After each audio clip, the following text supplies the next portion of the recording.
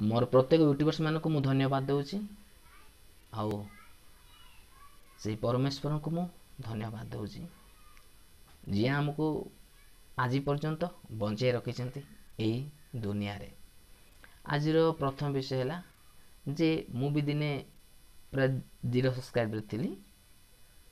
ଜଣେ ମଧ୍ୟ ସବସ୍କ୍ରାଇବ୍ କରିନଥିଲେ। କିନ୍ତୁ ଆଜି ମୋର ପ୍ରଥମ ଥର ଶହେ ସବସ୍କ୍ରାଇବର୍ ହେଇଛନ୍ତି। ସେଇଟା ଆପଣମାନଙ୍କର ପ୍ରେମ ଆପଣମାନଙ୍କର ଦୟା ଓ ସହାନୁଭୂତି ଆଉ ଉପରବାଲାଙ୍କର ଆଶୀର୍ବାଦର। ତ ଆଜିର ଏଇ ବିଷୟଟି ହେଲା ମୋର ପ୍ରତ୍ୟେକ ନୂଆ ୟୁଟ୍ୟୁବର୍ସ ମାନେ ଯଦି ଆପଣମାନେ କିଛି କାମ କରିବା ପାଇଁ କିଛି ଲୋକଙ୍କ ଆଗରେ କିଛି ଶୁଣିବା ପାଇଁ କିଛି ଦେଖିବା ପାଇଁ ଚାହୁଁଛନ୍ତି ତ ନିଶ୍ଚୟ ଏ କାମରେ ଲାଗି ରୁହନ୍ତୁ। ନିଶ୍ଚୟ ସମସ୍ତ କାମର ଫଳ ଅଛି ଛୋଟ ବଡ଼ ଯେକୌଣସି କାମର ଫଳ ଅଛି।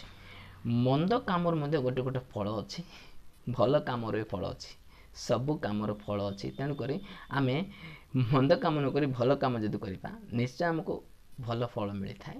ତେଣୁକରି କାମ କରିବା ଦରକାର।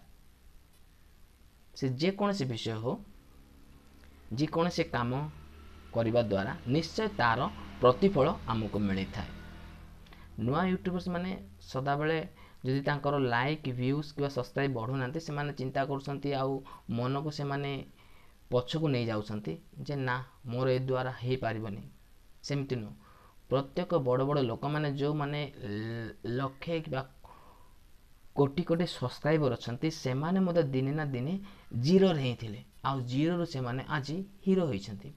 ତ ସମସ୍ତେ ଆମେ ଯଦି କିଛି କରିବା ପାଇଁ ଚାହୁଁଛୁ ନିଶ୍ଚୟ ତାହାର ପ୍ରତିଫଳ ଆମକୁ ମିଳିବ। ତେଣୁକରି ଆମେ କର୍ମକ୍ଷେତ୍ରରେ ପଛକୁ ହଟିବା ନାହିଁ। ଯଦି ଆମେ ଠିକ୍ କାମରେ ଚାଲୁଛୁ ନିଶ୍ଚୟ ଆମକୁ ଦିନେ ନା ଦିନେ ସକ୍ସେସ୍ ହେବାକୁ ପଡ଼ିବ ଆଉ ନିଶ୍ଚୟ ଗ୍ୟାରେଣ୍ଟି ସହିତ କହୁଛି ମୁଁ ନିଶ୍ଚୟ ଦିନେ ନା ଦିନେ ସକ୍ସେସ୍ ହେବେ। ଆଜିର ଭିଡ଼ିଓ ଏତିକି ମାତ୍ର। ଯଦି ଆପଣମାନଙ୍କୁ ଭଲ ଲାଗିଥାଏ ନିଶ୍ଚୟ ଲାଇକ୍ ସେୟାର କମେଣ୍ଟ ସବସ୍କ୍ରାଇବ୍ ବି କରିବେ। ରହୁଛି ଆଗାମୀ ଭିଡ଼ିଓ ପ୍ରତି।